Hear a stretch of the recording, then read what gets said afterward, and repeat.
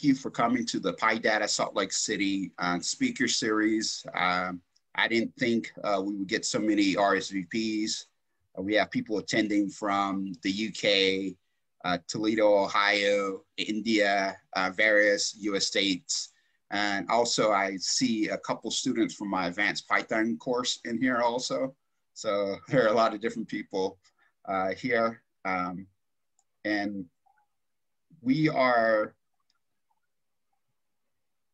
I want to go through these slides. Can everyone see my slides? Matt, can you see the slides that I have up right now?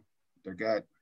So we're Pi, uh, PyData Salt Lake City. I'm going to give you a slight intro to kind of explain who we are and what we do and why Pandas is actually uniquely connected to Salt Lake City, right? And so we're going to be talking about Pandas and how is uniquely connected. It starts simply with the libraries that are used that make up pandas. So the Python libraries that make up pandas are one, NumPy, the major packages. So it's the fundamentals package for scientific computing with Python. And it was created by Travis Oliphant. So hopefully all you guys out here in the audience know who this is, but he is the creator of NumPy. And also he is the organizer of PyData as uh, Salt Lake City. And so he's connected in that fact that his package is actually a core component of Pandas, but we also have Matplotlib. So the connection goes a little bit further because what does all the all those packages, the three packages, you have Pandas, you have NumPy, you have Matplotlib. So how are they connected to the story, right? Well, they're all supported by one organization, funded by one organization called NumFOCUS. So NumFOCUS, what they do is they they've envisioned this inclusive scientific research community that utilizes open source software to make impactful discoveries for a better world. And that includes the physical sponsorship of Matplotlib, Pandas, NumPy, a lot of different uh, open source packages are being sponsored through NumFOCUS, and they have this uh, objective or this vision in order to see this these types of uh, packages grow. And so, because of their support, we are now able to fly helicopters to Mars because they're using open source software that's supported through NumFOCUS. So, what's the other connection? Well, PyData is actually uh, a product of NumFOCUS, and PyData is this community of developers and users of open source data tools. So PyData meetups are happening all around the world.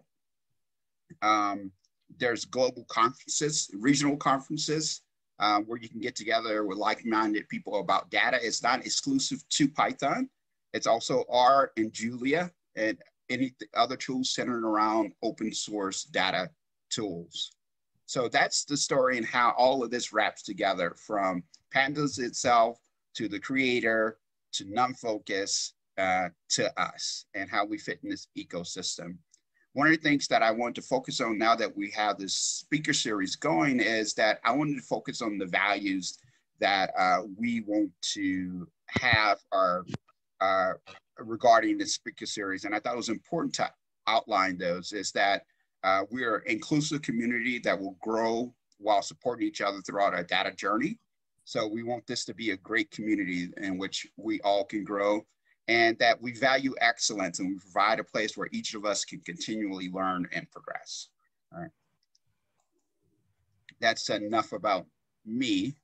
And so tonight's uh, talk is from Matt Harrison, uh, and we're going to uh, give you a short background about Matt, and from I'm going to tell you from from my perspective and how I know him and know of his work is I can tell you he's a leader in the data science world, and I can speak to that because he's the author of many popular books. I currently teach out of his Pandas 1.x cookbook. Right, he's an excellent instructor and trainer. I can actually affirm this statement also because I'm enrolled in his effective book authoring course. So, um, and he gives back to the Python community. And I know this firsthand because we both serve on a technical advisory board for an open source Python package called Yellowbrick. Um, he also runs his, his consulting firm, MetaSnake, uh, and he will probably mention this a little bit more. Um, and with that, I want to pass it over to, to Matt and let him uh, begin his talk. So uh, let me stop sharing. And yep, I can hear you. Awesome. Okay, should we take two? Yeah, take two. Action. Okay, here we go. Let's see if it cross my fingers this time. Um, okay. Yay. I think I think we're working now. Okay. Awesome. So apologize for that. Um, kind of odd.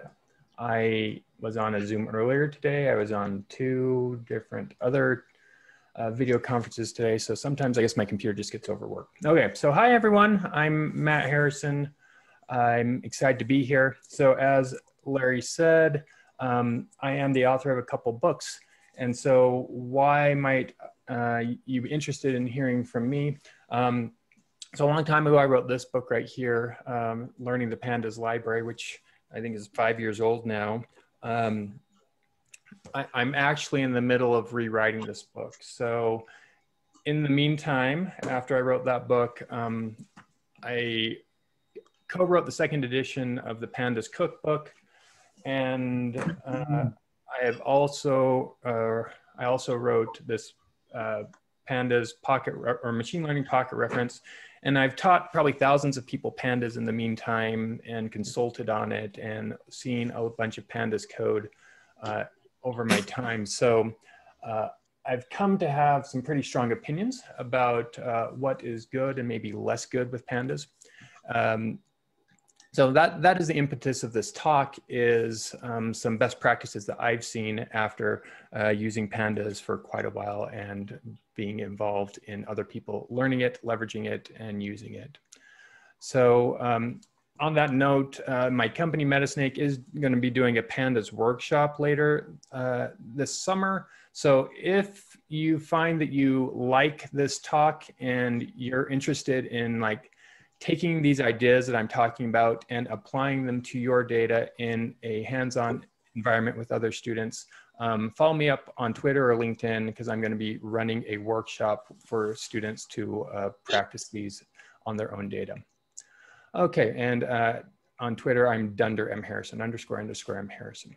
Okay, so what are we going to talk about? Um, we're going to talk about a couple things here. Uh, I'm going to load some data, and then we're going to talk about uh, like five things that I think are good practices for pandas that uh, some people know about, some people might not know about. So I'm gonna look at types, how to choose types, um, what chaining means, uh, this idea of mutation, when to do mutation. A lot of people uh, are confused about that. At least that's what I see from looking at students, looking at uh, blogs, looking at how people are telling people how to, how to use pandas um, when to use application or apply, and we'll talk about aggregation as well. So um, I don't know if Larry said it, but I'm certainly open to questions. And so if you've got a question along the way, feel free to ask it. Uh, you can, I'll try and monitor the chat if you want to uh, speak it as well. I'm pretty comfortable with that. So uh, hopefully this is more interactive than me just talking, but I'm happy to just talk as well. Okay, um, with that, I'll get going here. So um, I'm going to load my data. So I'm just going to do this from Jupyter. So the slides are Jupyter here. So I'm going to be using Pandas 1.2.3, but I will say that most of what uh, I'm teaching here uh, applies to Pandas versions um, that are, I don't know, three years old now or whatever. So Pandas 0.24, um, certainly this would apply to. Uh, I'm going to change some options here for display in Jupyter and I'm going to load my data. So my data that I'm using is from Shul, um, uh, this data set right here, which is, if we look at it, it is from fueleconomy.gov. It's, I've got it on my GitHub here, but uh, what it is, is the US government, for every make and model that's released, they list uh, some data about that. And so this is a data set with that data in there. So maybe is this font big enough? Can people see this okay? Are we okay with this font? Yeah, it looks good. Looks good. Okay, yeah, we got some thumbs up. Thanks, Matt. Okay, so let me know if it's too if it's too small, I can blow it up, but uh, I do want to fit more data on the screen, not have it be too crowded. Okay, so this is my data. Um, if you look at the summary summarization here at the bottom here, we got 41,000 rows and 83 columns. So again, th this is like makes and models since I think, I believe 1984, and I believe this goes through 2018 or 2019 is what this data set is. Okay, so here are the columns from this data set. I just read it from a CSV file. Um, there and these there are 83 columns in here. So there are things like uh, number of barrels that you consume, uh, city mileage, which is city 08, um, like CO2 uh, thrown out by the tailpipe, combined mileage, which is combined city and highway, uh, what the drive looks like, the displacement, uh, an engine description, the make model, uh, the year of the car, and a bunch of other stuff as well. So, you know, 83 columns, pretty good data set what I'm going to do is just, um, let's assume that a client gave me this data set and I'm going to start doing some analysis on it and uh, walk through this. Um, Edward asked, what's the URL for the code? Um, uh, there is no URL for the code right now. If you want a copy of the notebook, hit me up maybe on Twitter, or you can hit me up on, uh, hit me up at my email here and I can get you a copy of this um, the URL for the GitHub. Oh, the URL for the GitHub. Let me.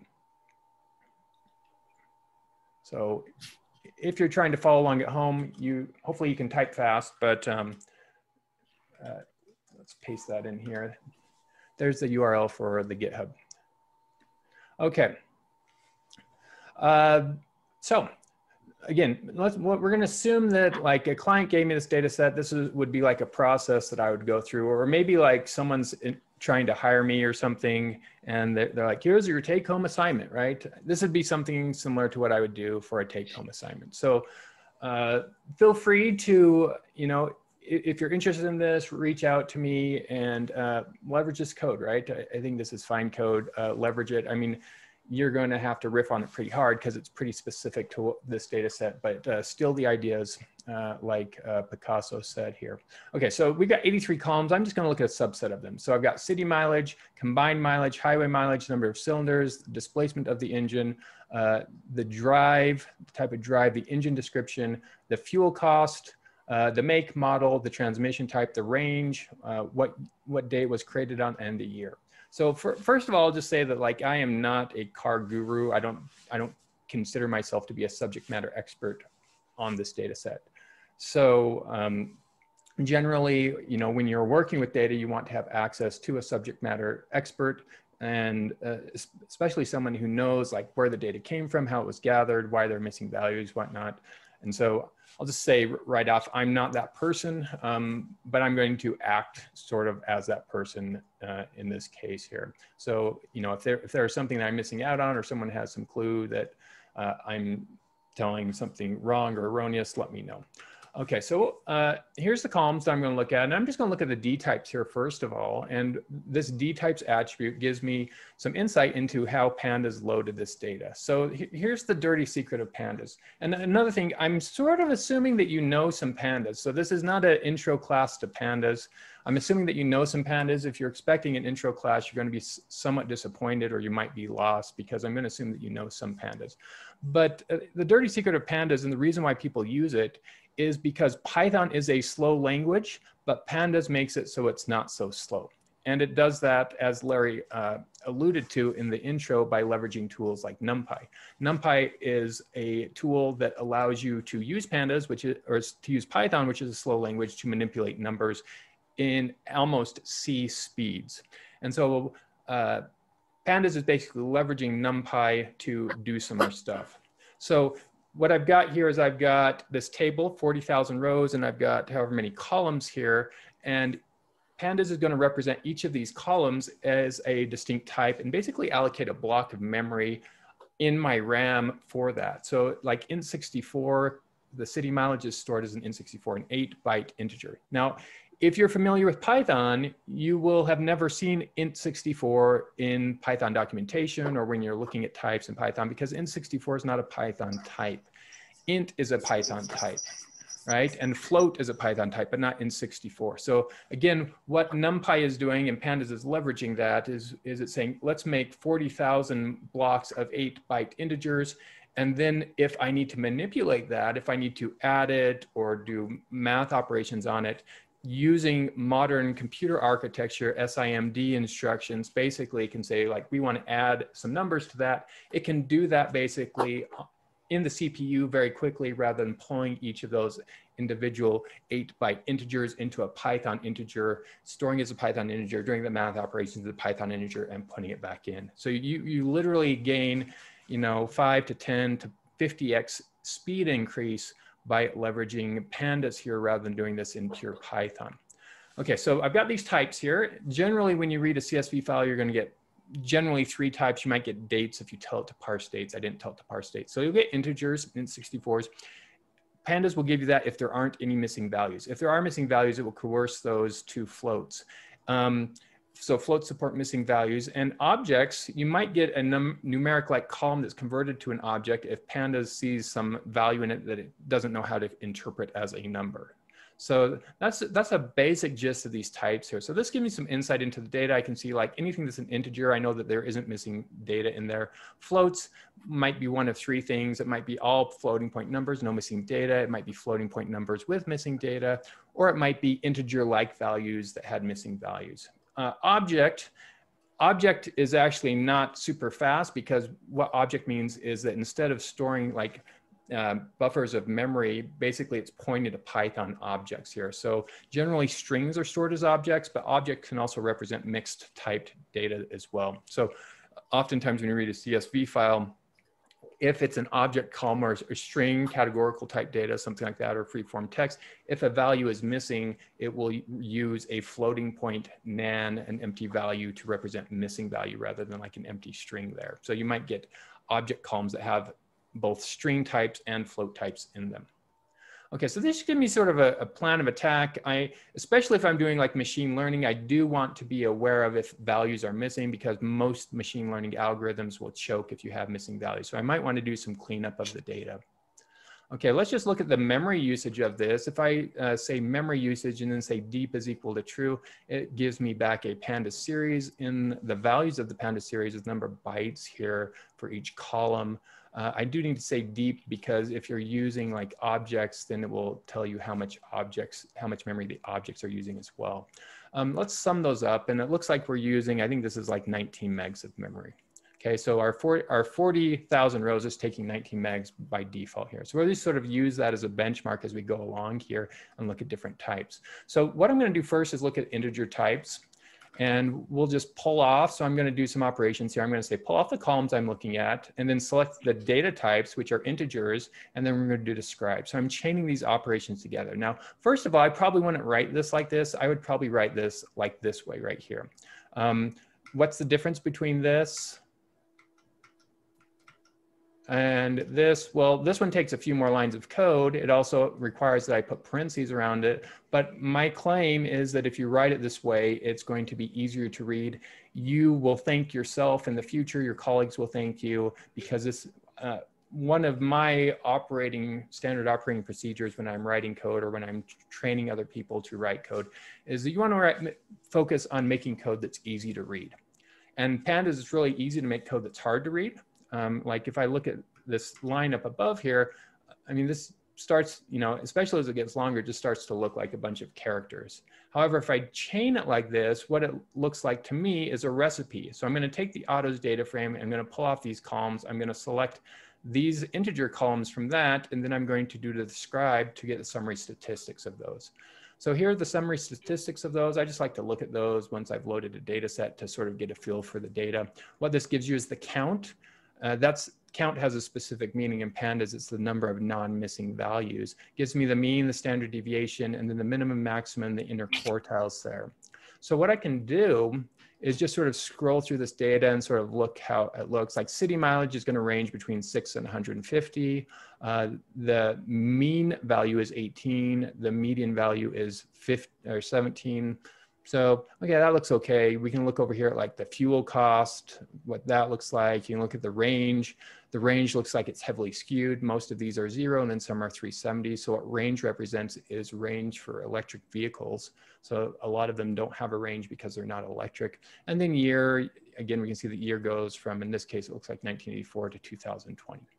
Okay, so um, one thing you might ask yourself is, you know, can I store these types? They're using 8-bit integers with a different type and maybe save some memory. So uh, using NumPy, you can ask NumPy how much memory an 8-bit integer takes. This is an eighth the size of a 64-bit integer, and it will go from negative 128 to 127. So looking at that, you can see that like highway, we could convert highway to an 8-bit integer and not lose any precision unless in the future highway mileage goes up above 127. But for right now, we would be okay with that. However, if we converted city or combined, we would lose some precision on that. Um, let's look at a 16-bit integer, and that goes up to 32,000. So it looks like most of these integer types, we could at least save about a quarter of the size by converting them to 8 uh, int 16s. So that's what I'm going to do here. I'm going to say, here's, I'm, I'm going to chain this operation here. Here's my autos take out these columns. So this, autos is the data frame with the 83 columns. So I'm going to pull out the columns I'm interested in, and then I'm going to do as type method on this. So the as type method takes a dictionary that maps column names to the types. And then I'm going to uh, say select types now. And in this case, I'm, I have to say these different types because I've changed the types uh, if I just say int here, it won't select the int eight types. Not that I have int 16 type, it's not gonna get those while I do, when I do this command, but let's just look at the types here that I pulled out. And it looks like like highway was convert, converted to an eight byte into, or an eight bit integer. And that looks like we haven't lost any data. The other ones look like they're doing pretty good as well. Um, let's, uh, now, one of the things you'll learn in pandas is oftentimes there's like two or three ways to do something. So if I just wanted to plot everything that's integer like, I can actually just say select and put the string integer in there. And so here are all the integer like columns. And it looks like um, we haven't really lost any precision by doing these types here. Let's just look at our memory usage from doing that. And we, we save like a meg, 1.5 megs from doing that. So, uh, you know, not a huge change, but about 10%, a little bit less than 10% of our memory from doing that. Let's look at floats. Okay, so I'm gonna just chain this operation to look at my float types. So these are my float types here, uh, cylinders and displacement. Okay, and it looks like here by looking at cylinders, cylinders almost looks integer-esque. You know, let's see that like it's 4.0, 8.0. And if you think about cars, generally they're whole numbers of values for cylinders. So your spidey sense might go off and you might be thinking, why did it represent cylinders as floats? They look whole numbers or integer-like to me. Displacement looks like it's, it's not integer-like. So uh, let's, let's describe cylinders and just look at that a little bit more. And you can see like the minimum value is two, the maximum value is 16. So what happened there? And your hint is, is this count up here. Again, count has a specific meaning in pandas. It means the number of values that we're not missing. Okay, so um, if we looked at this up above here, we would see that, or we can just look at this entry right above here. There's 41,000 rows, 41,144, but apparently some number of those are missing and hence pandas converted that integer like column into a float because by default, the lowercase int64 type does not support missing values. So again, if I wanted to use this for something like machine learning, I might need to deal with those missing values because most machine learning algorithms really don't like missing values. Um, another way to inspect this is to use value counts. This is another tool that I like to use in, in pandas all the time. And I'm going to say drop NA as false. By default, when you do a value count, it's going to give you the frequency of the entries for that column. And, and it's going to put in the index the call the, the values from the column and then the counts in the series values over here. So you can see like there are 15,000 four cylinder cars. And here we see our, our answer here, 206 of them are missing. So presumably, again, not a subject matter expert, but pres presumably this is like electric vehicles that don't have cylinders, right? I don't, I don't think uh, electric engines have cylinders. So you might want to inspect this. So let's use some code to inspect it. I'm going to say uh, from autos, pull off the columns I'm interested in, and let's just query that. I'm going to say cylinders.na. So pandas has a query method that allows you to uh, do some pseudo SQL-esque combined with some Python code in there. So this lets us uh, quickly look up where these values are missing. You can see that my index is now no longer starting at zero. So these are the parts where it's missing. And let's just scroll over a little bit and we can see like Ultra EV, RAV4 EV, RAV4 Think, Explorer Electric. So most of these are looking uh, pretty electric E. Um, we've got one here, uh, a Subaru RX Turbo from 1985 that doesn't have cylinders. So this one, I, I don't believe that this one is electric. So uh, a subject matter expert might be able to fill us in why this is missing cylinders. Um, I, I, presume it should have cylinders from 1985, but most of these are looking electric-y. So um, I'm, I'm, just gonna make a executive decision. Again, I'm not a subject matter expert, but I'm gonna pretend that I have a subject matter expert hat on here. And what I'm gonna do is I'm gonna say, okay, let's take our cylinders um, I'm going to use the assign method here. And what assign does is it allows you to return a new data frame that has new columns in it or that has uh, overridden columns. So we're going to update cylinders and we're going to say take the cylinders column, fill any missing values with NA with zero. Now there shouldn't be any missing values. And because it's now integer like, convert it to an int eight. And then a similar thing with displacement. Some of the displacement is missing. So I'm just going to do fill NA with zero there. Let's do that and then we'll do a describe here. And now you can see if you scroll over a little bit, um, you can see that cylinders is now not missing any values. So that's looking okay. We do have uh, values of zero cylinders up there as well now. Okay, so uh, we could uh, do this describe here, which is um, a little bit different than what we had above, right? Cylinders uh, was missing values. It had a minimum value of two, but we've changed that a little bit. Okay, what else can we do? Um, we can look at these other float things and determine what we want to do with the other floats. We might want to look at the type of a float. So NumPy has this finfo function that will tell you uh, information about floats. There's iinfo to tell you information about uh, integers. So we could look at this and then we can say, okay, I want to convert uh, displacement uh, to a float 16. Um, and so we'll just do that. And here is our data frame with displacement converted to float 16. This looks okay. It doesn't look like I'm losing it much information, if at all. I might be, you know, maybe need to round that up a little bit, but I should be okay with that. Okay, let's look at our memory usage after doing this. We were at 19.6, now we're at 17.5. So we've, we've, we've saved about two, two megs by doing this. Um, so not huge, huge savings, but we're doing okay. Let's, let's now jump into the object columns here, and I'll just inspect those here. Here's the object columns. I'm going to select dtypes with objects, and you can see like drive is one, engine description, make, model, tranny, and created on. So just by looking at these, I can sort of get a feel for what's going on here. It looks like drive is pseudo categorical. What do I mean by categorical? It has low cardinality. What do I mean by cardinality? That's jargon that uh, people use to describe how many unique values there are. So probably not a lot of unique values for drive. Um, that tells me that this might be a candidate for converting to a categoric type. A categoric type is a special type in pandas that can save us a lot of memory. We also have this engine descr, which is the engine description column, and it looks like it's got like parentheticals in here, FFS, it's got missing values here, and then it's got like FFS comma turbo, FFS. So this is looking maybe categorical, but maybe a little bit free form. We've got some like double print parentheticals in here. So this is one that we might need to explore a little bit more. It's not clear by looking at this, like there's commas sometimes, sometimes there's this. This looks like it's actually derived from like a free form text. Um, so uh, free form text is the bane of most data people. And, and this looks like this is going to be maybe annoying. Make probably categorical. Oh, looks like Matt said uh, this is a Mazda rotary engine for that 1985 one. Okay, I don't know what a rotary engine is, but maybe. Um, so make is probably categorical. I think there's like a 100 different makes in here of 40,000. Model, models pseudo-categorical. I mean, it's going to have a high cardinality, but um, you might have like Testarossa over five years or something, but sometimes you'll see like, you know, there's 20 different versions of Camrys or something like that. Transmission, transmission looks like it's probably categorical and then created on actually looks like it's a date, right? And by default, when you read a CSV file, it doesn't have type. And so uh, it doesn't know that this is a date. So we might want to convert this to a date. Um, there's a question from Kaylin. Kaylin asks, is it necessary to remember the different conversions like int 8, float 16, etc.?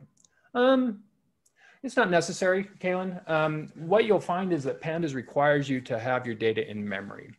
And so a lot of the time you can save quite a bit of memory by changing the, the default data type. And basically, uh, you know, a lot of my clients are like, how do I fit more data into memory? Well, if you change the types, uh, a lot of times you can save a lot of memory and, and then you can analyze more data. But it, it's not necessary. Um, it, I would say this, Kaylin, I, or sorry, it's not Kayleigh I believe. Um, I would say that you should at least inspect your columns and try to understand them a little bit. And you can see that I'm sort of walking through this process of, of exploring the columns as I'm going. So we call this exploratory data analysis.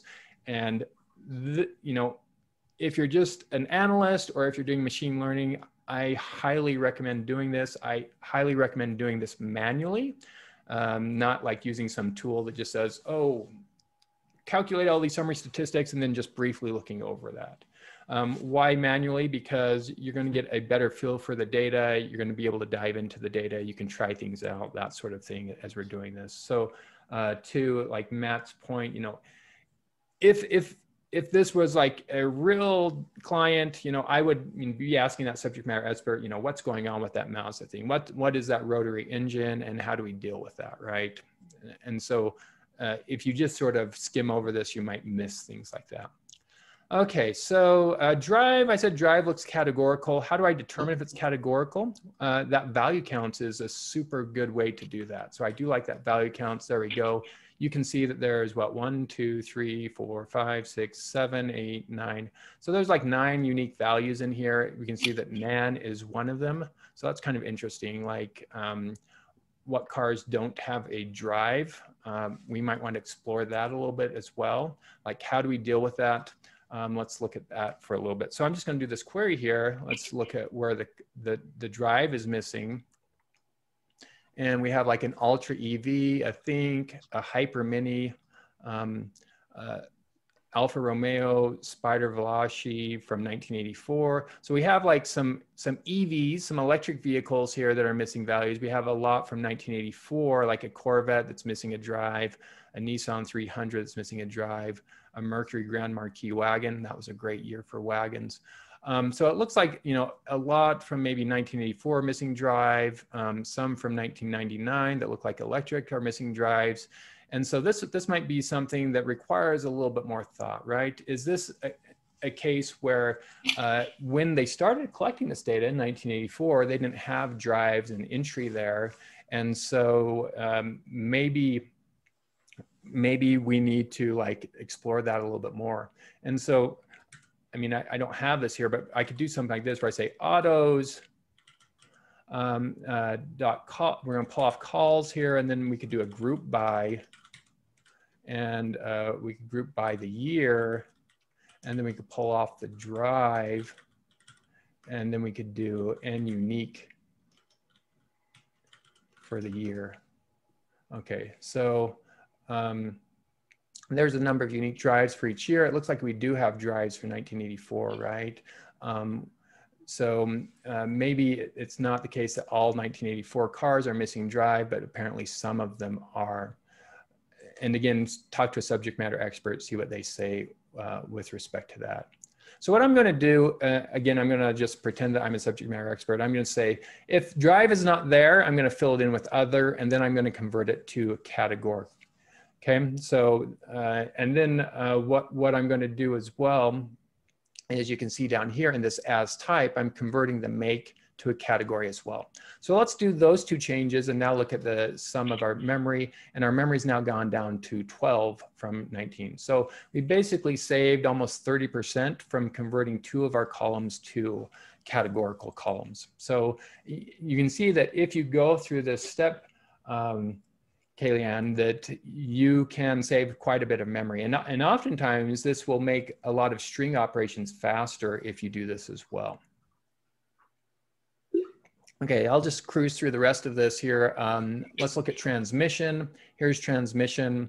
I, am doing my value counts here. Again, drop NA as false to see if there are missing values. There's, there's 11 that don't have a transmission, whatever that means. Again, not quite sure. So could be some sloppy data in there. But, but when I look at this column, what, what sort of stands out to me is that it looks like this is a column that's representing two pieces of data. One piece of data is whether it's automatic or manual, and the other one is how many speeds in there. So I've got an automatic four speed, a manual five speed, automatic three speed, an automatic S6. Um, this looks like I'm assuming this is a six speed. Again, talk to a subject matter expert, but not quite clear. And we got variable gear ratios. So that's, who knows what that is. Maybe that's, you know, uh, one of these that has multiple speeds. Um, it's automatic. So, you know, you, you have like these Nissans that have whatever infinite speeds or whatever in them. Um, so it looks like there's two pieces of data in this. So what I'm going to do is, again, uh, put on my uh, hat that pretend that I am a subject matter expert. And what I'm going to do is I'm going to add a new column called automatic.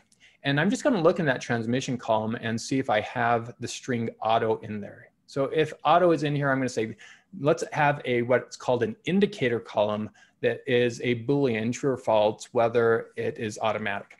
And then I'm going to make another column here called speed. And I'm going to use uh, this stir extract, which allows me to pass in a regular expression. I'm going to pull out the digit. If there is a digit in here, pull it out.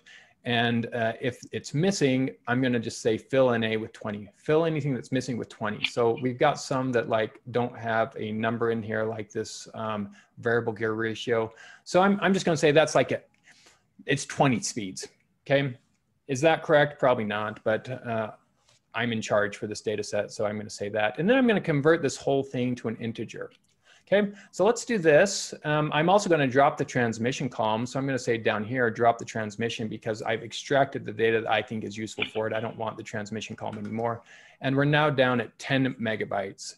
So we've added two columns, dropped one, and we went down by another two megabytes by doing that. So we're, we're at about half the, the data by doing that. Okay, the next thing I'm going to do is work on the dates here.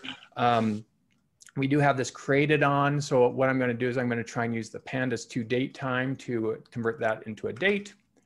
And let's run that. I get uh, this red warning here. I'm now at seven megs here. So um, another three megs that I saved by doing that. But I did get this warning here. Um, sometimes you can ignore warnings in pandas, but it might be good to read them. This one says EST identified but not understood.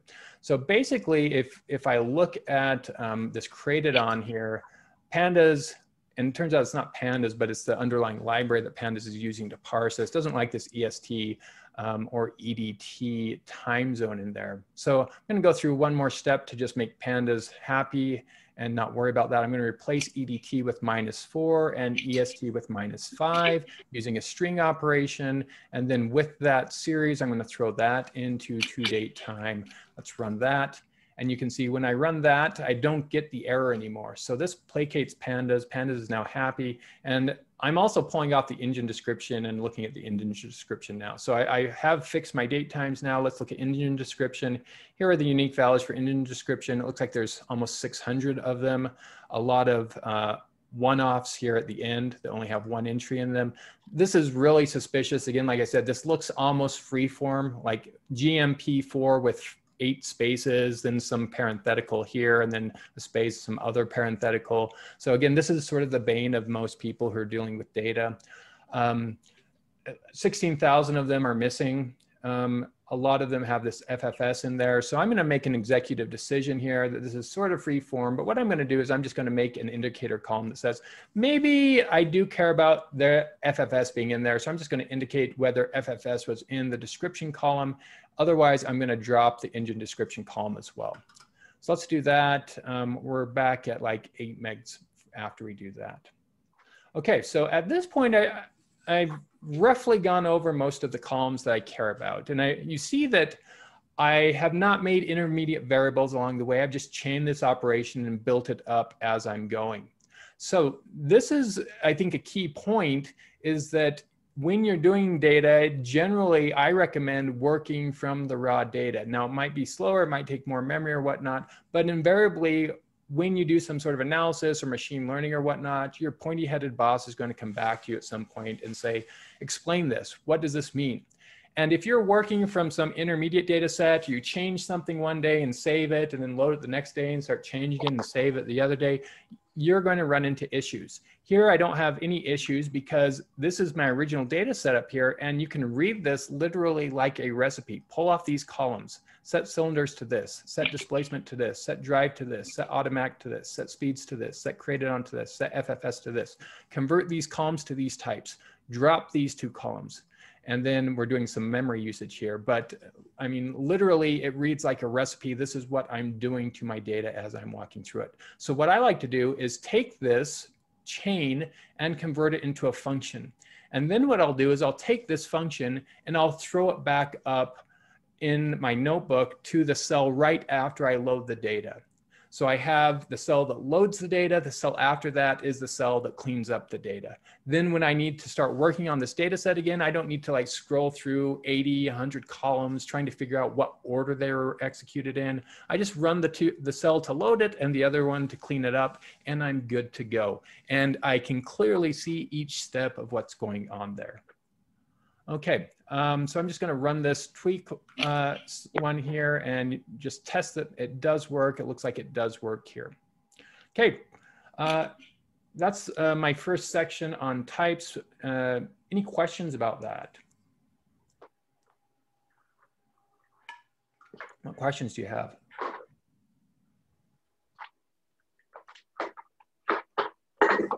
Can you hear me? Yeah, I can hear you. Hey, this is Anir. Uh, I joined a little late, so uh, maybe I have missed it. But what is this autos list call calls you do? Is it is it a list of columns or is it a keyword that you do when you are chaining? Okay, so I think Amir's question is, what is this doing? Right yes, exactly. Mm -hmm. Yeah. So th this is one of the ways in pandas that we are allowed to pull out columns. So this is not a list operation. This is actually an index operation on autos. And so we're going to do an index operation and calls, if we look up at the top here, I can scroll back up here. Um, you can see that calls is the list of like um, these uh, columns that I care about. So I'm, I'm doing it an index operation with these columns here. Gotcha. Thank you. Yep. Okay. So, uh, and uh, to your point, um, I should actually take this columns here and copy this and paste it into my tweak function because my tweak function, were I to put this up at the top like I advised saying I, I would do, it would not work because calls would be undefined. So thanks for, thanks for catching that bug, Amir. Okay, uh, Edward says great code. Awesome. That's actually what I like that, not because it makes me feel good. Well, it does make me feel good, but because my claim is that if you write pandas code like this, and I will claim that 90% of the people of pandas code I see do not write pandas code like this. If you write pandas code like this, your code will be easy to read. You will be able to come back to your code and understand what you did.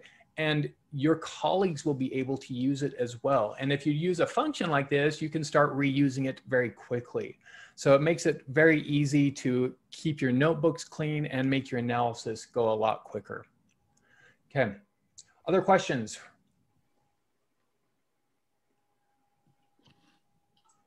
Apologize for drinking on air, but um, I will be, I, in addition to this, I'm teaching eight hours of courses today, so I just got to keep my voice lubricated.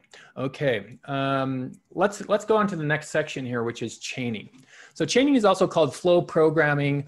Um, and the point of chaining is that rather than making intermediate variables along the way, which again is what 90% of people who use pandas do, we should leverage the fact that most operations in pandas return a new object. Sometimes they're views, sometimes they're copies of the object, but they return new objects.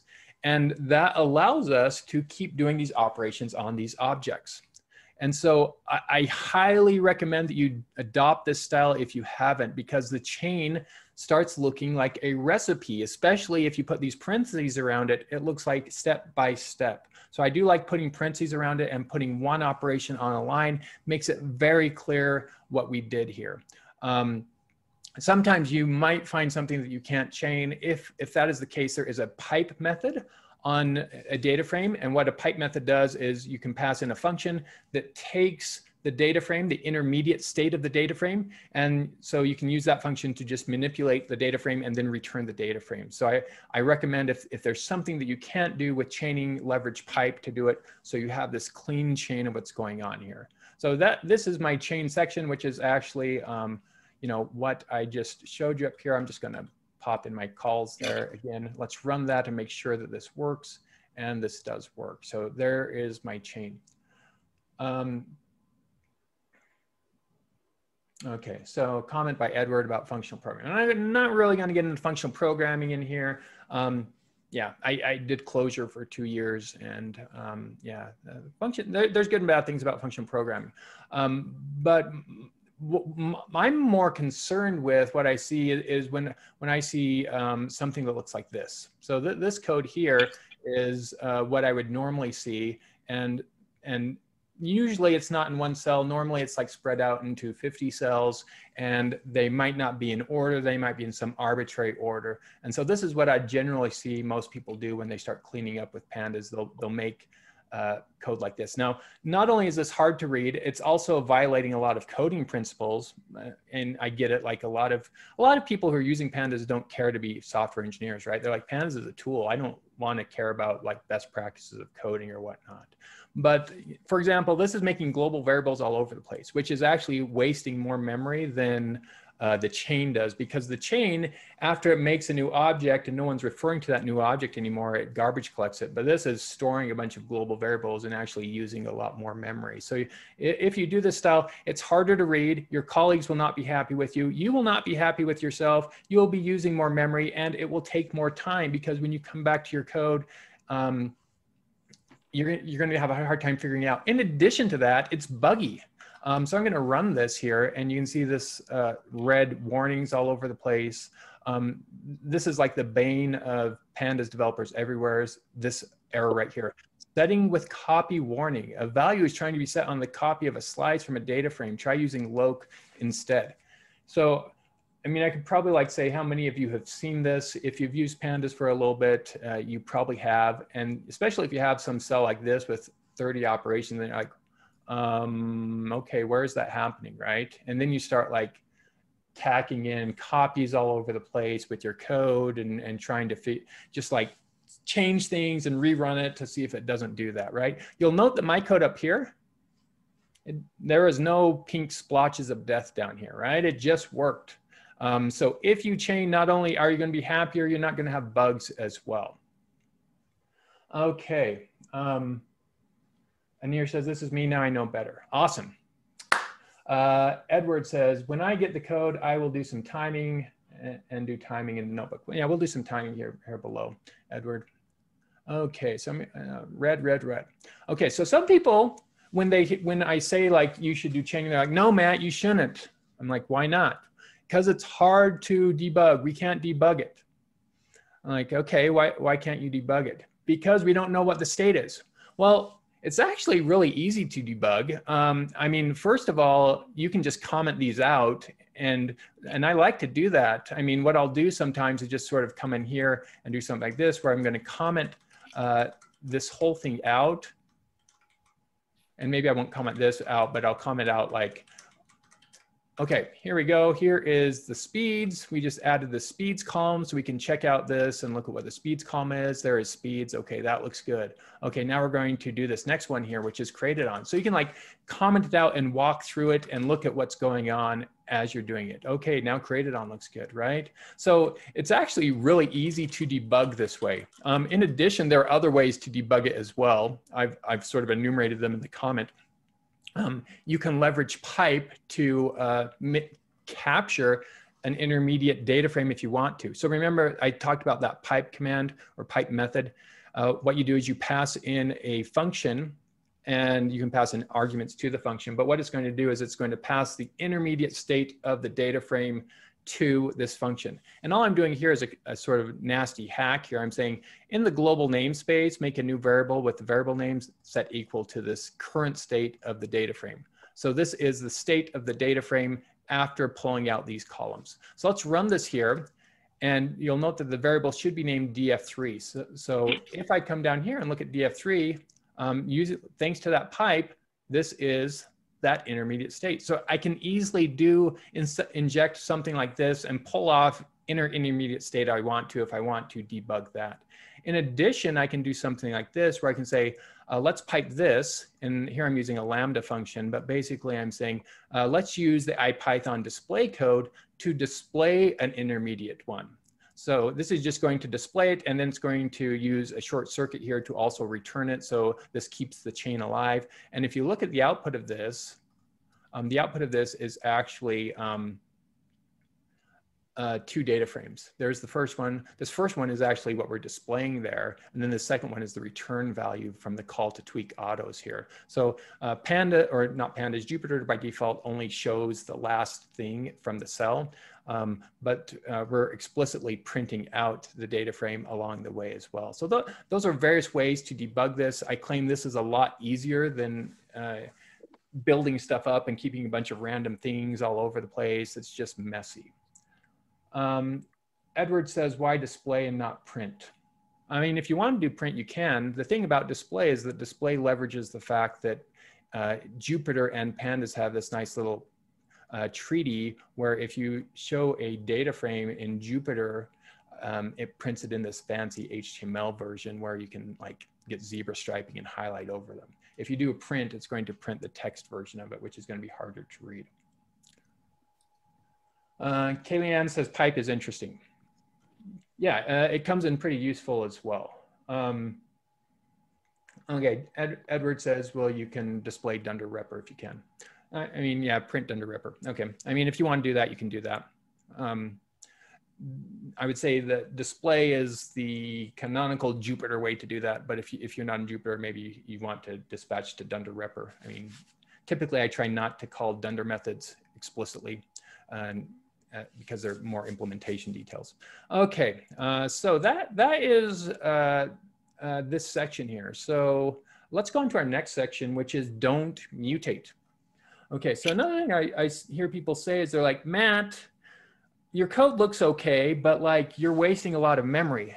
Didn't you know that there's this thing in uh, pandas where you can use in place, and if you use in place, then it doesn't return a new value. It just mutates it in place, and you save a bunch of memory. I'm like, uh, okay, yeah, there is that, but um, it turns out that in place is actually a, a, dirty lie and it doesn't work. And I've linked to an issue here. This is from Pandas here. And I've also quoted uh, uh, Mr. Reback, one of the Pandas core developers from this issue. Uh, the quote says, you're missing the point. In place rarely does something in place.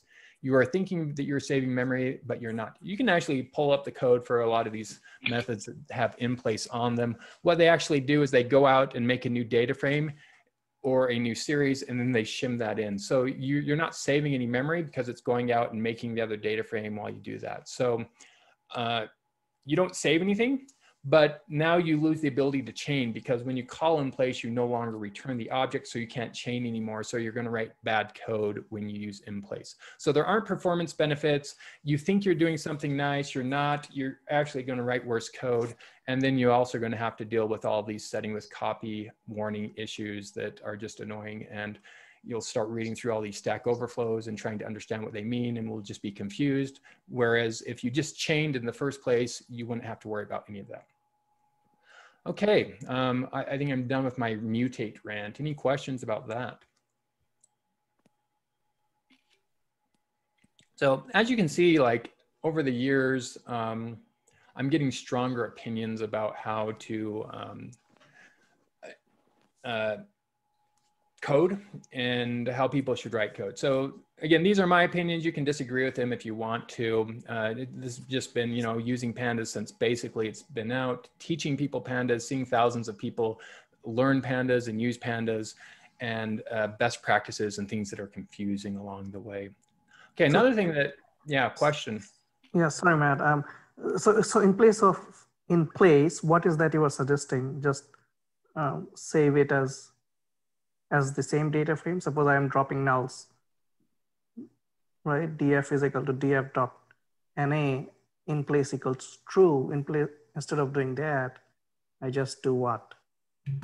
Now the question is, what do I do instead? You just don't do it. You just chain, right? And so if I wanted to drop oh. NA up here, I would just stick in a drop NA right here. Got you, got you. You're doing the, okay, I got it. Thank you. Yep. Yep. Yep. So just, uh, yeah, I, I, wouldn't say like drop NA and then in, in place is equal. In fact, if you say in place is equal to true right here, um, you, um, because we're returning the result of this, it's going to return none because when you say in place is equal to true, you, you no longer return the data frame, you return none, which is another thing that's kind of confusing uh, just from like a computer science point of view, like theoretically, like if you have an interface and sometimes you return something and sometimes you don't, that actually makes it hard for people to read things and understand why things happen because now you have to keep in your mind like am i returning something or am i not returning something right? And it's just another cognitive overhead that if you just don't use in place you shun it you, you don't have to worry about that. Okay other questions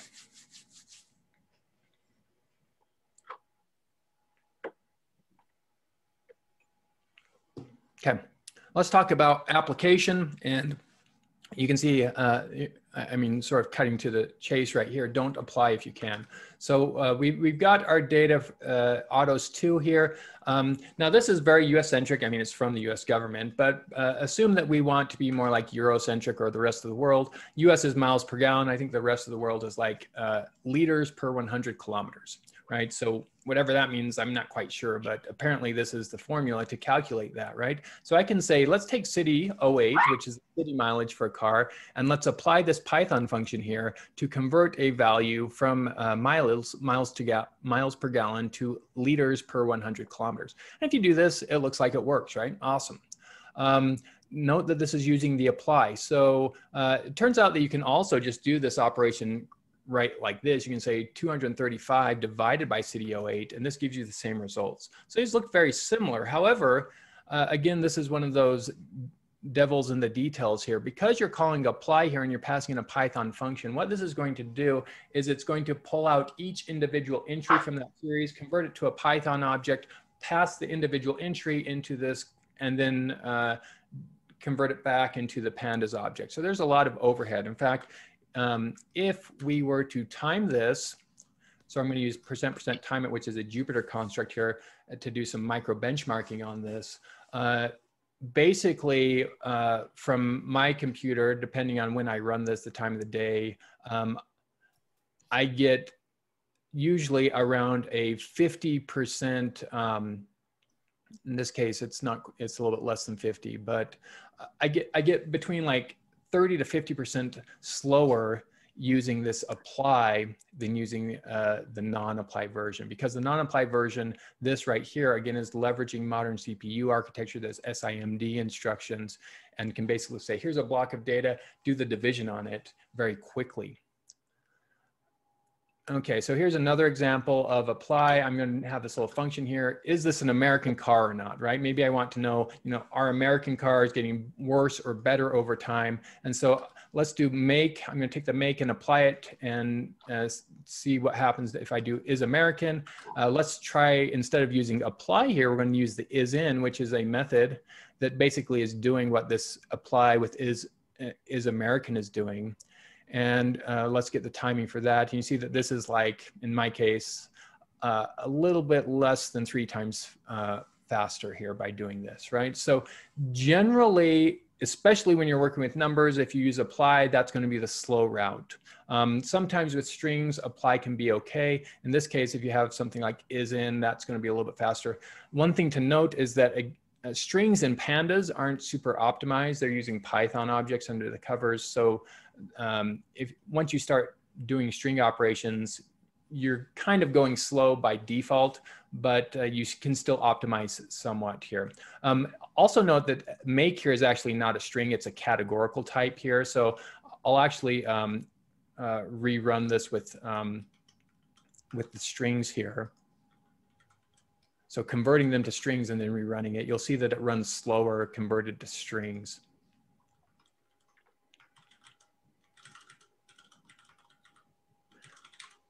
Okay, so uh, the, the as type here, um, so the is in instead of doing 1.3 milliseconds is now like 10 times slower.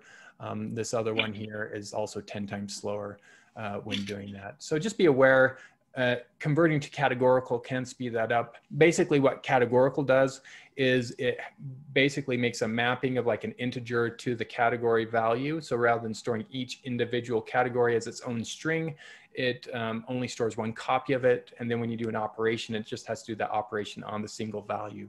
So especially if you have low cardinality, low number of unique entries, this can be really quick um, versus changing every single entry. Okay, here's one that's a little bit more complicated. I've got like an if else statement. So if country is in this, return US, otherwise return other. So let's, let's try this and we're gonna do uh, apply here.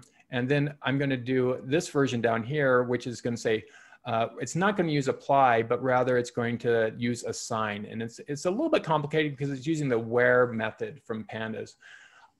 I do like the where method. However, I find that it's a little bit unwieldy. However, I recommend that if you are doing uh, something with apply, with numbers, you learn how to do it with the where method because the where method is going to go that fast path, whereas apply is going to go the slow path. You can see that in this case, because this is doing, it, it's operating on strings, um, that using the where is going to be, in this case, it's a little bit slower than doing apply. Um, but if we were not operating on strings, if we were operating on um, numbers, the where would be a lot faster there. Um, here's another option here. We can use NP select. This is something that I wish was in pandas that is not in pandas. Uh, what NP select does is it allows you to uh, specify a list of Booleans. And then if those, wherever those Booleans hold true, uh, you specify a value to put into those places. So it basically lets you kind of make like a switch statement where you say, if this is true, put in this value. If this is true, put in this value, but it's a vectorized version of that. Um, again, because this is on strings, it's not super fast, but uh, if it were on numbers and you had like an if else, you can basically do an if else here. You can do an if else by chaining a bunch of where statements, but it's a little bit hard to read. Um, so in this case, the NP select is, um, is not really shining through here just due to because it's working with strings. Okay, so that is my apply rant. The takeaway here again is if you're doing numeric processing, avoid apply. If you're using strings, you're sort of already going down the slow route, um, but some operations might be faster using like is in than using apply with strings. Okay, questions about that? What questions do you have?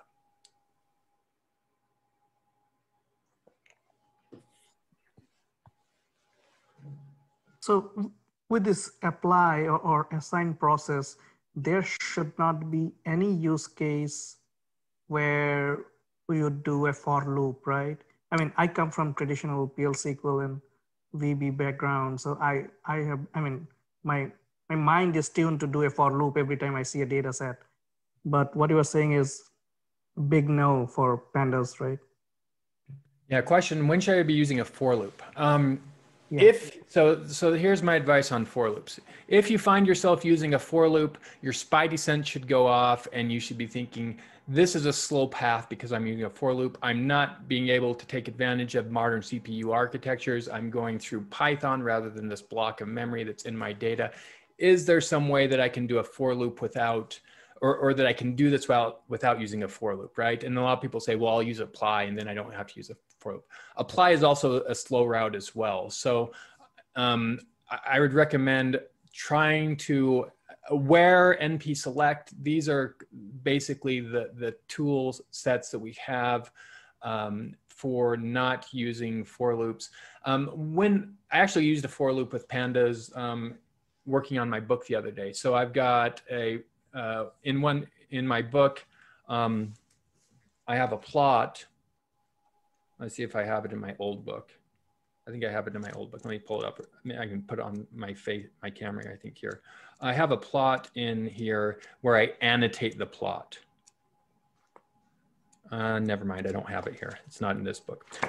Um, okay, I'm not I'm not going to pull up because I just rebooted my machine. It was on it was on a browser, but it wasn't there. But basically, I annotated the plot. I had some line plot, and then I had and so I plotted a line that had like elevation for an ultra running marathon, and then um, at each point um, where I had that elevation was actually a like way station, a checkpoint along the way of the race.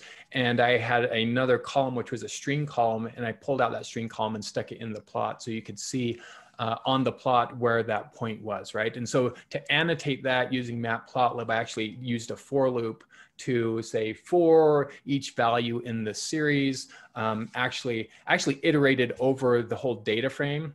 Um, so I said for I did an iter rows to iterate over the rows because that would give me the X and Y location because the X location was like mileage and the Y location was elevation. So I used the X and Y from the row and also the label from the row and then used matplotlib to plot those out. And I did a for loop and did each of those plots along the way. So I think, you know, if you're doing something like that, it's okay. But, it, you know, it, if you're like tempted to like use a for loop in pandas, generally you should think twice about that. Does that answer your question? It does. It does. Thanks, man.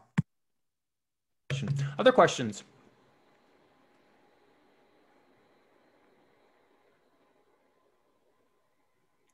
Okay. Um, my last point here is just to master aggregation. And, and it's not really a rant per se, but just um, uh, generally aggregation is something that your boss wants you to report on, right? If you're going, say, say I work at a candy store, I'm a cashier at a candy store, and the boss comes in and says, How are we doing today? The boss really, unless they're like really bored, doesn't really want to know that Sally came in about a Tootsie Roll and a lollipop and a candy bar, and then Billy came in about two candy bars and a Tootsie Roll and a stick of gum, and then Cindy came in and bought one candy bar and two Tootsie Rolls. Your boss doesn't care about the details. What they want is an aggregation. They want you to say, we had 28 people come in today. The average purchase order size was $5.32. We sold 628 pieces of candy, right? We're going to collapse that information or we're going to aggregate it. Those are the sorts of things that most people want to be reported on. They a lot of people don't care about the details. Now, again, I did say work with the raw data because inevitably someone's going to ask you about the details. So you do want to be able to go back to the details and, and that's sort of like usually a, a one-off type of thing but generally people are going to ask you about aggregations and pandas has uh, great ways to do this with this group by there's also pivoting in there as well. But uh, let's just look at this and again i'm going to write this in this chain style. I could write this in one line of code however i'm going to take in this case four lines of code because it's going to make it easier to read. It's also easier to debug right? Because i can come in here and i can say okay we're going to start off with autos then i'm going to do group by this is going to be lazy it's going to return me this group by object and then I'm going to take the mean of this. Okay, so you can see that my index now is the year. I'm grouping by the year. And um, then for, for every numeric column, I have the mean for each year. So this is pretty powerful. I mean, literally, this is one line of code. I've written it as four, but you can do these sorts of aggregations very quickly. Um, so one thing to watch out for is if you're uh, limiting what your aggregation, you, you might want to watch the order of this. So let's run this one here. So here I'm going to say, let's do a group by year. I'm going to pull out the combined and speed column, and then I'm going to take the mean of that. Um, so there's our aggregation right there. Now, if instead of um, taking the, the mean after pulling out the columns, we did the mean before, uh, this second one here, I'm going to do a time it year. Uh, the second one here is going to calculate the mean of all the numeric columns. So you're going to pay a little bit of a penalty for that. Um, so this is like almost three times slower because it's calculating the mean of all the columns. So you, you, you can do something smart here in this case when you're aggregating, say, I, I know I only want to look at these columns, so pull those two columns off before I do my aggregation. Okay, we're going to do some plots here, so I'm just going to load some, some uh, code to make my plots a little bit prettier. Okay, so once I've got these, um, so again, he, he, here, whoops. So I, I do like this because I can step through this, right? So I'm going to take autos. I'm going to group by year. It's going to be lazy. It doesn't do anything until I tell it what to do. I'm to pull out these columns. It's still lazy because I haven't aggregated. Now I'm going to pull off the mean. And now I'm going to do a plot of this. So uh, one thing to, if you can master group by and plotting, you can make these plots very easily. One of the key things to know about plotting in pandas is a normal plot is a line plot. And what it's gonna plot is the index along the x-axis and each column as a line. So I just uncommented that plot there. Let's plot this here. And you can see along the x is the in x is the index and each of these uh, lines here is a column. So if you can remember that, it makes it makes it really easy to do plots here. So uh, per year, this is the number of speeds. It looks like the average number of speeds is going up in our cars per year. And it looks like our mileage, combined mileage is going up. It looks like maybe it plateaued in the last couple of years or so. But over time, uh, with this data set at least, the combined of mileage has gone up as has the number of speeds. Okay, and and because I've written in this way, where I, I basically have a recipe, if instead of doing the median here, I want to do the quantile, I can just comment out median and say, let's do quantile here. So I'll comment out plot, here's the quantile, right? Um, but if I do the quantile, here's the, the 10th percent quantile. So quantile, if you're not familiar with it, it's like we order everything and then we go 10% in and whatever the 10% value is, that's what we're plotting here. So this is a 10% quantile. If I want like the 99th percent quantile, um, I can do that. So this is like what everyone's kid is. Everyone's kid is in the 99th percentile. So you can figure that out really quickly. But this makes it really easy to just try things out, right? Um, I can just comment this out. If, if instead of quantile, maybe I want like standard deviation, I can say STD here, and here's the standard deviation. Or if I wanted the variance, I could do the variance here. So really easy to just try different things out. And, and uh, if you're using this chain style, uh, uh, explore with that. Okay, what I'm going to do now is I'm going to add country. So I'm going to, so let me just walk through this, this code here. Whoops. I'm going to say, okay, here's my autos. Okay. And I'm going to add uh, the country column. So assign is going to add a country. And uh, so if I scroll over here at the end, I should see country at the end popped on here. We can just check that. There is country at the end. Okay, other and US. Now I'm going to group by. Now watch this. Instead of grouping by a single column, I'm going to group by two columns, year and country. Okay, this is going to be lazy. It's not going to do anything. And then what I'm going to do is I'm going to take the mean of this.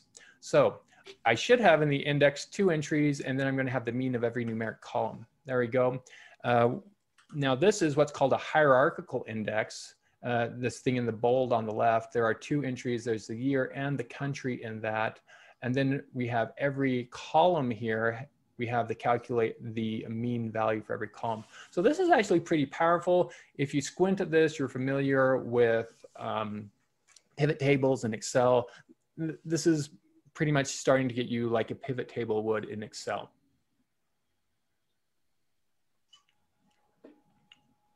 Okay, and, and I can group by arbitrary number of things. So if I have some sort of hierarchy that I want to group by, I can do that as well.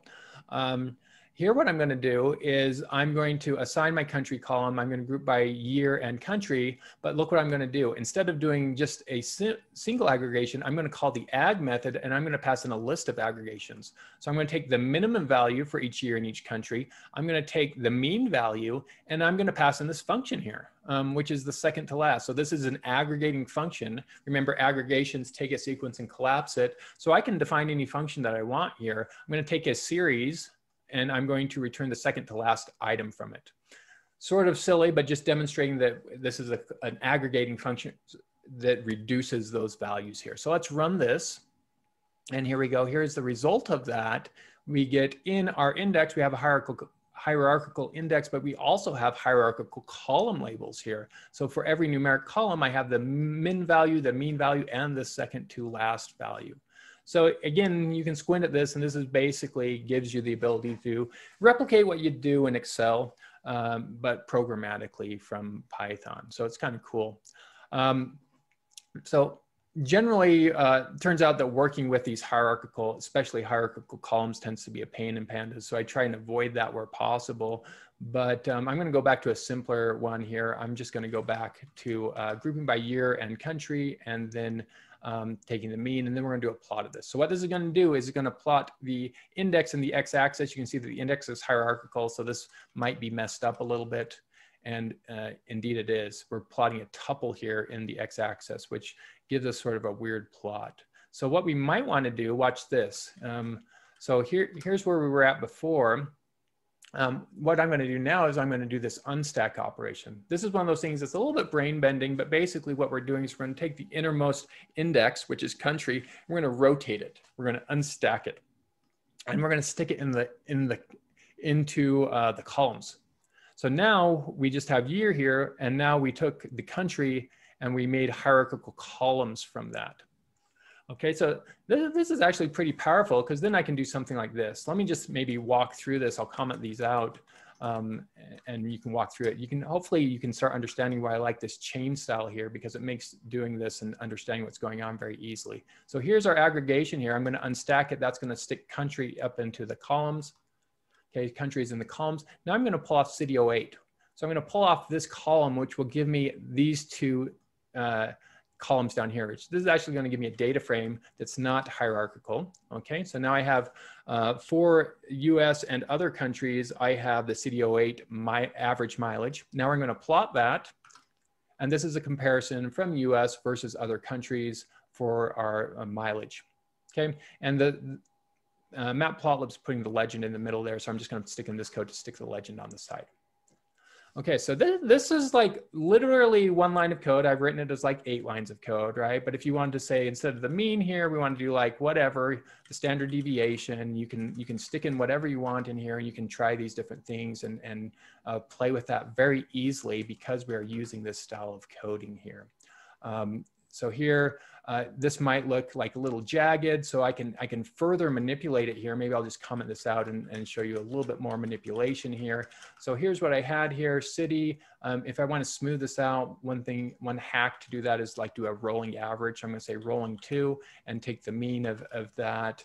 And so now if I plot this, this should be a little bit more smoothed out. And you can see that compared to this one versus this one, it's a little bit more smoothed out here. So uh, just leveraging different pandas tools. Okay, uh, questions about aggregation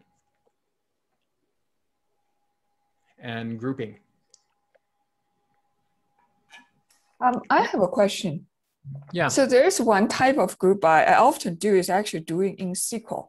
I haven't found out like what's the best way to do it in pandas.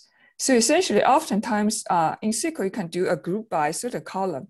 Then you want to actually immediately filter results. So you use group by column A, column B, can say having, having some kind of condition right there.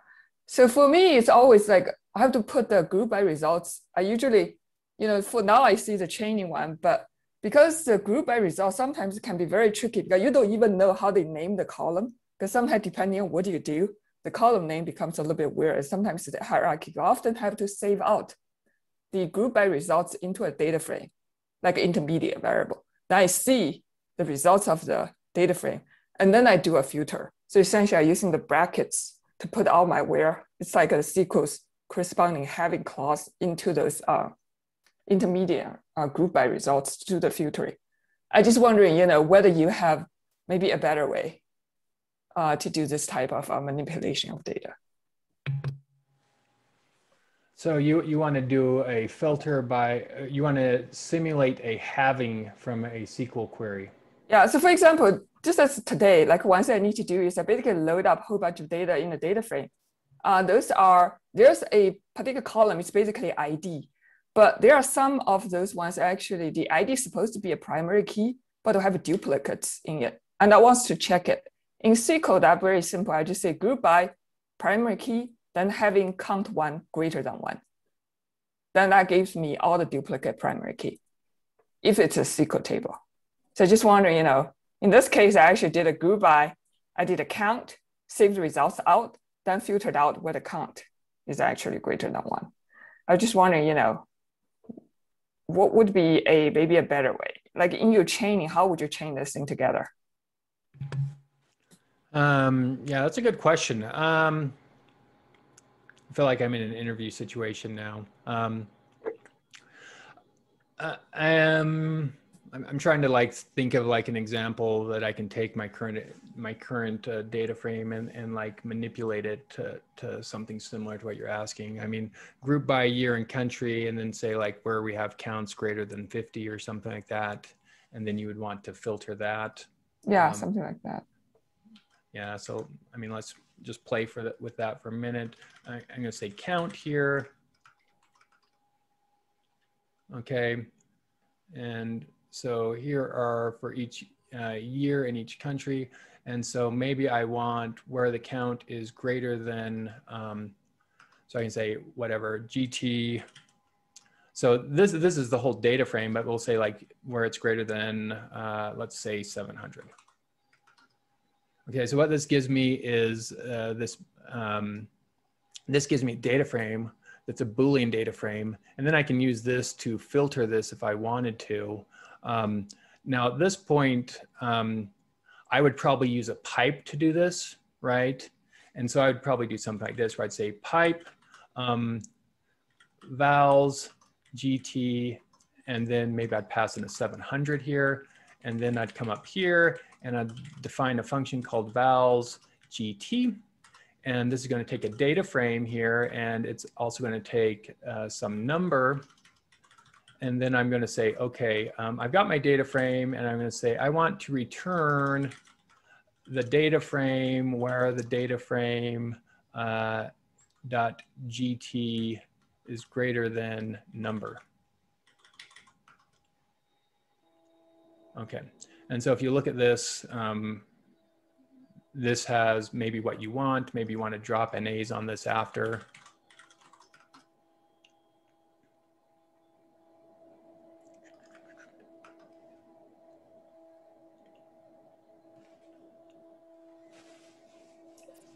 So that's probably how I'd do it, thinking off the top of my head, but there might be a better way to do it.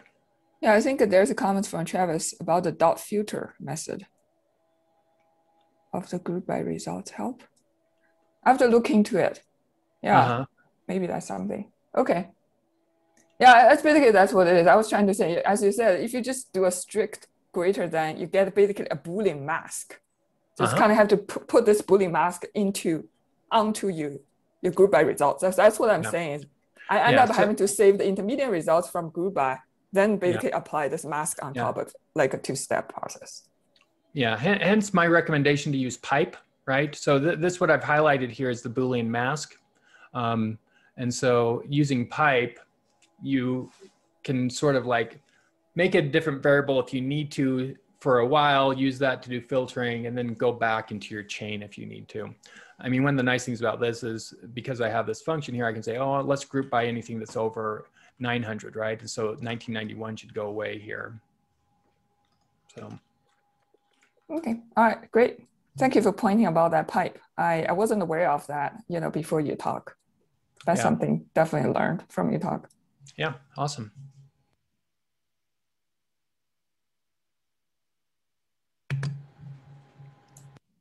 Uh, Travis says, could you do a filter from the group by? Um, yeah, you could probably do that as well. I mean, off the top of my head, I'm, I'm, um,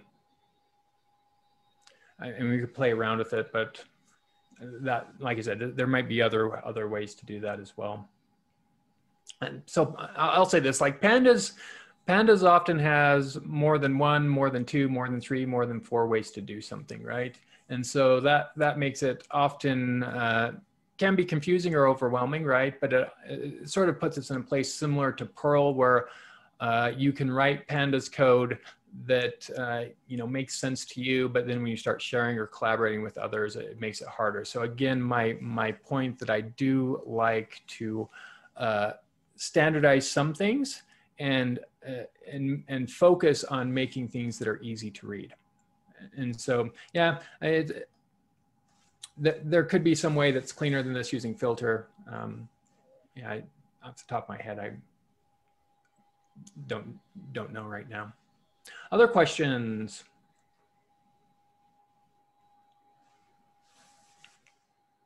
Matt, would you be able to share the notebook or is it proprietary? Yeah, question, can I share the notebook? Yeah, there's nothing proprietary about it. It's just not in a public place. So if you just want to email me um, or you can DM me on Twitter, uh, Dunder M. Harrison, or I, I think I put my email in the chat here. Um, but no, I, will do it on Twitter. I, I follow you on Twitter, so I'll do it. Okay. Yeah. Yeah. Just DM me and uh, yeah, there's no, there's nothing proprietary in this. In fact, I mean, I want people to leverage this, uh, this style because personally, I do believe that you will be happier, your code will be happier, your boss will be happier, customers will be happier, colleagues will be happier if, if you uh, adopt some of these things that I've talked about today. Okay, I'll, I'll, I'll summarize this. Um, so summary, um, if you use the correct types, you're gonna save memory. One thing to be aware of is that Pandas is an in-memory tool. So for better for worse, you have to be able to fit it into memory. Now we live in a day where you can go out and rent a machine that has a huge amount of memory, right? So I, I mean, I know clients who were like, instead of firing up some Dask cluster or Spark, they'll just fire up a big server on um, Amazon and do their processing there using pandas, right? But if you use the right types, you can get away with a smaller server, right? We saw that, I mean, I also, I had like a 60% savings by using the correct types, and I could probably even optimize that further. Um, also by using the correct types, you, uh, you know, if you've got something that was converted to a string but should be numeric, that's going to be problematic because you can't do math operations on a string. Um, and then if, if you convert things to dates, you get uh, this nice little DT accessor that allows you to do a lot of nice handy date manipulations that you could do with a string, but they would be a huge pain. And so why would you want to inflict that pain? Um, again, chaining, my take is that if, if there's one thing that I would say take away from this, it's start chaining your code, figure out how to chain it. In fact, um, I would say my my biggest contribution to this book was basically I rewrote everything as chains. I did add some chapters like on testing and pandas, and I, there's not a lot of code available hardly anywhere, like doing things like testing or debugging pandas. So um, I think that's pretty nice from the book. But uh, if you chain, your code will be easier to read. You will remove bugs. It'll be easier to debug. So I highly recommend it. Uh, don't mutate. There's no point in mutating. Um, just don't do it. Uh, generally apply is slow for math operations. So if, if you find yourself using apply or even worse, using a for loop, uh, consider whether you really need to do that or if there's another way to do that. And then aggregations are powerful. They can be confusing, right? Uh, I mean, a lot of pandas is, is, is really confusing. I teach a lot of people who are like Python developers and they come to pandas like, what is going on here? This doesn't even look like Python code, right? So, so it can be confusing. It takes time. My, my thing is like, take a deep breath, relax. Um, uh, the more you practice it and play around with it, the easier it's going to get. Uh, so uh, same with aggregations, uh, write them in this chain style, start playing around with them, step through what's going on so you can see what's going on. Uh, if you like this uh, and you want more content like this, I mean, I, I do tweet stuff like this on Twitter. Um, and again, like I said, I am going to be running a, an idiomatic pandas workshop uh, the point of that workshop is you come in with your buggy pandas code or your pandas code that looks like uh, the code that I said you shouldn't write. And then we spend a couple days basically in groups, uh, basically rewriting your code and making it fast and easy to read. And you walk away from that with uh, a big smile on your face and your boss will be happy. Okay. Uh, thanks everyone. It's been a pleasure being able to rant to you for the past hour or so. Um, happy to field any more questions if there are, but I, I guess I'll uh, pass the mic back over to our host unless there are questions.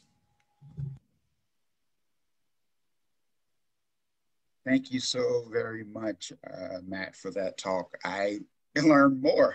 I, I will start focusing more on chaining than I currently do. So uh, even though I did read that in your book and I read it, I did not put it into practice and I will um, from here on out.